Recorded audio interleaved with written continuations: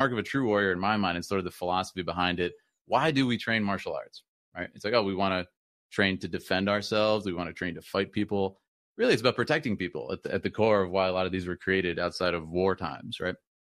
So we have to ask ourselves, what's the goal? Like if someone attacks you, and you can always see uh, sort of the higher level mental state of a martial artist, and in my opinion, the highest level. Say uh, someone's in a bar fight, and say if a drunk guy attacks me, I don't know, he thinks I looked at his girlfriend or something, and he's out of it, and he's all drugged up or drunk, and he attacks me. Like in my mind, I'm not going to try and like injure or like maim this person. Where a low level, I'm going to try and like just you know get him out of the way, not harm him, and say, you know, go home. He's he's probably having a bad day anyway, or he's depressed or something, right? And a lot of people, unfortunately, on the lower spectrum, uh, that sort of barbaric spectrum, would say, ooh, ooh, I get a free pass to like really hurt somebody. And I've heard like first uh, hand accounts of this of people doing this. Oh yeah, this guy attacked me. I'm like, oh, it was so good. It felt so good to just like kick his face in, and man, I, I was good. Like didn't get arrested, and I was like, oh, put it on yeah, YouTube. It's terrible. Yeah. Get right. millions of views. right, exactly. So that's the thing. Man. It's sort of the it's it's there's an irony there, right? And it's it's very interesting the the duality of it because it's okay. How do you reach the highest level of fighting? Is not fighting. All right, so it's, it's yeah. very interesting. You know, I, you know, it's same thing in philosophy though, because I, I love the way you're putting that. By the way, because uh, you know, I think a Thank warrior you. has to have a code, and I think a warrior, Mm-hmm. um, the the best warriors don't actually have to fight, right? Same thing with philosophy in a way. Um, it is nice to see people, uh, pardon the pun, but get their shit pushed in when they are they're doing something wrong, right? And and they especially in a philosophical way where somebody's putting forth a bad argument, they're promoting something that we all know is flawed, and somebody comes in and just creams them. We all like to watch this. I, I you know, and I'm guilty of this myself. I love to watch. it. I like doing it. There is something fun about saying, "Hey, I, I cream that guy," right? But the highest thing philosophy would to to appeal to would be like you never even have to bother to get that far, right? Unfortunately, those are just works in progress. But I do agree with you wholeheartedly. The best fights are the ones that are not fought. Yes. Yeah. So it's interesting. How do you even reach that level? There's so many questions, right? And uh, a lot of it is sort of just this, just this intangible feeling, or like it's kind of like this enlightenment that you reach. And it's funny, like honestly, the more I'll put it like this, the more or the better I got at martial arts, and sort of the the more confidence you gain, and then you start to realize it's like, ooh, it's so easy to hurt somebody. And it's not even an arrogance, like thinking, "Ooh, I'm so dangerous now." No, like you start to realize, like I said a million times, a kid could could kill somebody like by mistake. It's like we're so fragile. We're such fragile beings. Like our bodies, it's so easy to get injured and then die, of course.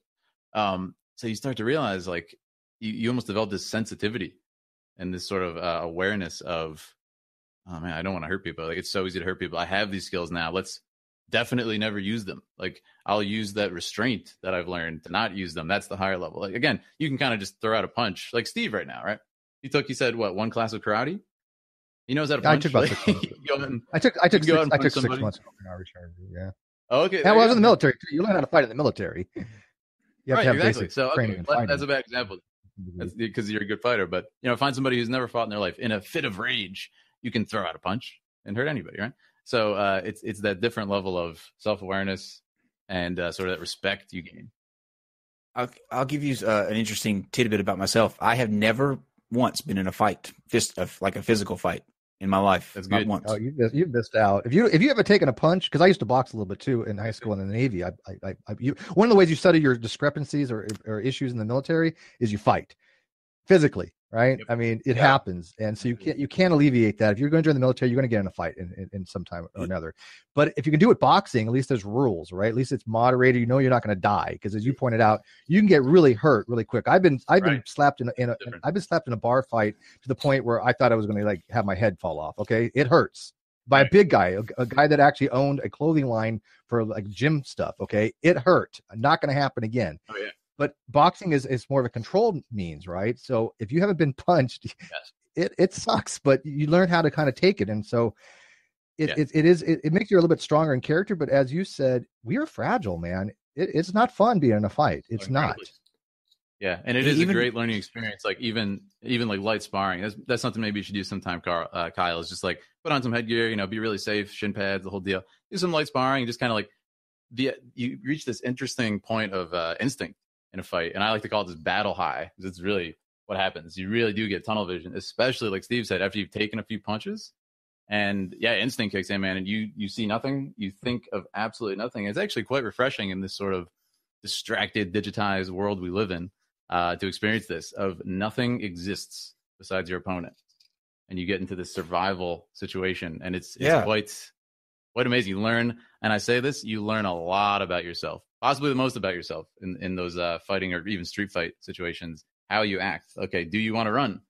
Do you do you shirk away from it? Or Yes. do you actually say no? Yes, Let's do this. the first option. Fight or flight. first option. Um, I, uh, Oh, there's, no, no right, no right option. That's Even- there's no correct response. even in uh, even when when I spent that year in prison, I saw fights every day, every single day. Like literally, you would you would see fights ev- all around you, and I was never, Sure. I was just never, I've never really been messed with. Like you know, in and I've never had anybody angry enough with me to um to fight me like that. I'm just to me, I'm just a laid back person. Like I, I don't. I don't rock people's boats, and I don't, you know, if they whatever they want to do. So, um, you know, I've never just been in a situation where I needed to, uh, to fight. What would happen if I had to? Now, probably I'd get my ass kicked, or I would run, like you said. Uh, I would take option one. And nothing wrong with that. A fight or flight. That's sometimes you got to though, take the okay. flight. I have no problem with Live that. to fight another day. What's the big deal, you know? Yeah, Yeah, I, man. I got to ask though. I mean, because I mean, I'm a when total you're so pussy well when it trained, comes like those. Wh- when you when you're doing like choreography and you're doing like um, like we did with Brittany, um, you know, Right. you have such you're obviously very well very well trained. There must have been a point where you have to override your instinct to do something because you obviously didn't want to hurt her. Um, I Oh, think yeah. she'd probably kick her ass in real life if she really wanted to, but uh, it'd, be, it'd be a fun thing to, to actually see. But but I think there is some training and resi- we, we, I bet she does. She's a professional. I mean, she's a professional cheerleader, right? That's her her. Well, her no, the funny thing is, I mean, like, quick side note, she she is she's not trained in fighting. She's just insanely flexible because the cheerleading and stuff. So yeah. she can just put her body in any position in existence. So I'm like, okay, do this, this, and that, and she does it. But she actually doesn't have that control. so she just kind of like, But you may not be. But that's that, even worse. but You don't know what to expect. yeah, no, it's great though, like because expect. like a lot of people are, are really afraid, and I love that Brittany just she just does it, man. It's like so good. Yeah, she's a great person to film that's with. awesome. hmm Um, yeah, you're right. You do have to you- uh, you do have to kind of turn that off. Um, Like, so yeah, there's a uh, different, on there's a your uh, side to it. there, uh, I know that you have Okay. some uh, some points that you wrote down um, that you kind of wanted to uh, to run through. Let's let's go ahead and tackle um, one of those and get into uh, this a little bit deeper. Absolutely. Yeah, let's do it. Okay. So your your Okay. your first point that that you had was um was what again? So we were wondering, uh, as you thought about, it, and then I saw your title. It actually got me thinking about something I thought about a while ago, and it's kind of like, what is creativity?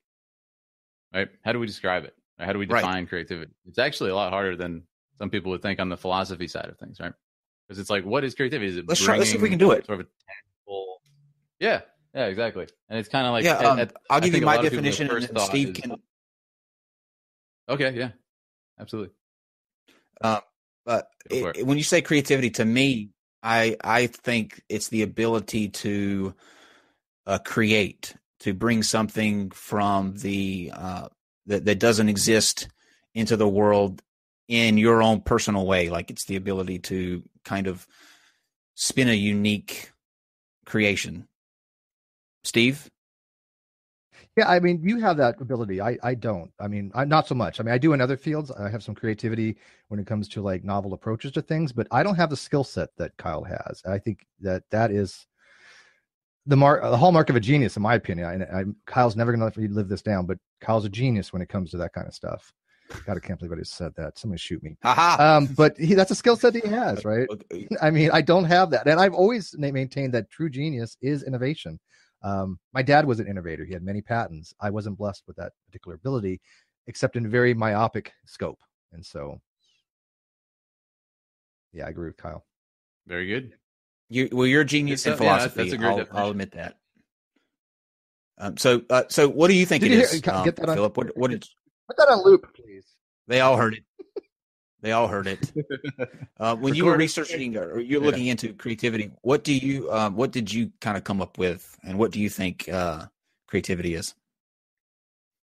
Well, that's the interesting part because I think a lot of people, their first thought that a lot of us have, and you kind of mentioned this, is sort of bringing something to life, right? To be able to create.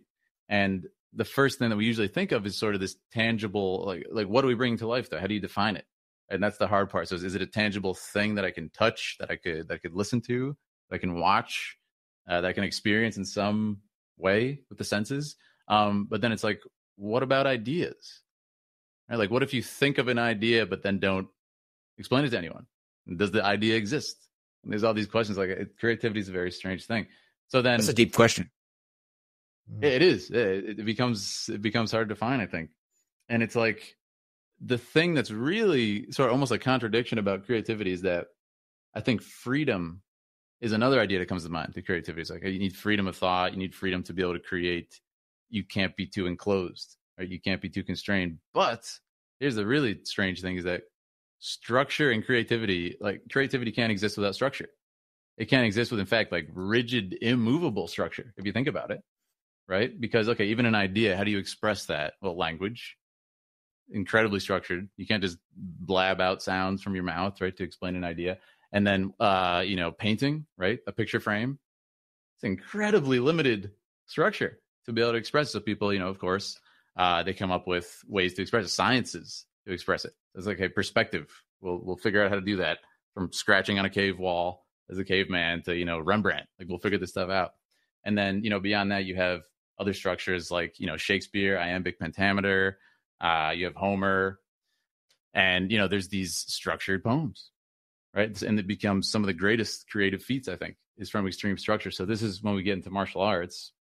It's sort of a similar thing, and the debate of sort of dogmatic traditional versus the new age science. Uh, are we adding things? Are we blending science into it? Like I said, biomechanics. There's a lot that can be gained from these things and, and exploring them.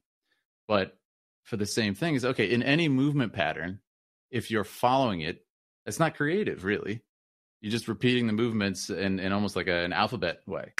Absolutely not creative. It's like you're just doing it. But then if you, by that same token, go, okay, I'm going to just absolutely not follow anything, like that itself is a structure, right? That itself is a rule. it's a hard rule. So it's kind of hard to define. Like, hey, what is true oh, yeah, creativity? Definitely. When, when you point. decide on a specific structure, like for example, if I want to write an iambic pentameter, I've decided that's the structure I want to do. Right. I can be creative in that narrative. I can't write like Shakespeare, but I could be creative in that way once I have decided the initial rules to be which I'm going to be uh, working with. Like you said, you have to work with linguistically. Once I've decided I'm going to be working with this particular language, then I could be Yeah. creative in that. Right. If I want to work with painting, then I have to obviously have to understand paints and canvases and stuff like that. So I think th- this goes to the, the the whole principle behind like um, philosophy. When you have a subjective framework, you can then have things that are objective, and you can things have cre- you can have creativity the same way. Creativity stems from the fact that you are starting with things that are subjective, but once you decide how that you want to go about that, the sky's the limit. Absolutely. So I mean, you you have to have like- you have to have form, right? You get you, in order to like make to shit up, you have to understand the basics, right? Yeah. Yeah. exactly. Well, it's like no one will be impressed for it. Otherwise, you have these, in my opinion, like garbage movements, like the Dada movement in art, which is like you know, here's a toilet. Excuse me. here's a here's a cross, upside down cross That's in so urine. true. It's art. Yeah. That's yeah, exactly. true. This the Dada. It- It's absurd. Yeah, Yeah, yeah, I mean that's the point. Absurdist, but Art has I'm so something glad you that agree with is- that. it's just a mess. You can you can throw something together and put it up, Right. and you can see these out in cities like uh, in downtown Greensboro, where I'm from. They they've literally taken a. It looks like they took a uh, like a bulldozer and scooped up a big pile of whatever was at the uh, the impound lot, just gears and twisted rebar, and it's just and then they put it rust and all in the middle of the uh in the middle of the where the town uh the city hall is and it's got like a Mhm. placard that that explains the person's name but really it looks like just a bunch of of you know scooped Yeah. up shit and dumped in the uh the uh thing and but they call it art like this is something that's Yeah. that, that is there's a reverence for it because it's you know they took the time to take the rebar and and form it just so so i mean that's a very Oh, good point Well, that's Not, I mean. It's everybody like, can be a that's. Jackson Pollock, right?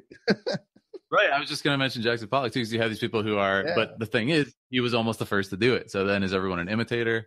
And then there's these somebody. But you know, it's art, it's creativity, which Mm-hmm. you can't. You know, it's opinion based to an extent. That's the weird thing Mhm. about it. Like you know, filmmaking. Speaking of the, the fight scenes and everything, and each one's a gamble. You don't know what people. It's okay. They enjoyed something similar last time. Maybe they'll like this one. I, I don't know. Like that was. I did Oh, a, a video with Brittany before, and it was. It's my top performing video I've ever done. It, I think it's got like 1.4 million views on YouTube. Yeah, you're So, well, you know, it's one okay, and a half million views it has. Yeah, it's like let's That's do it again. Let's